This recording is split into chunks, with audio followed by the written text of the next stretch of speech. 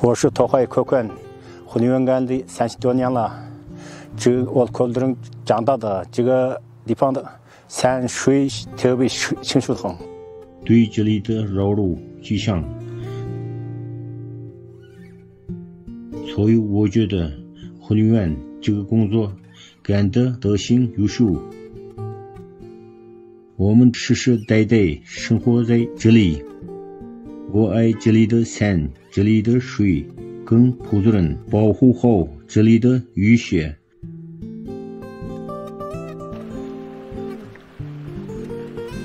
现在我的儿子上大学了，经常带他去巡山，给他讲讲我的三十年。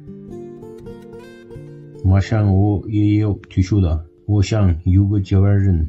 把自己的经验传输给他。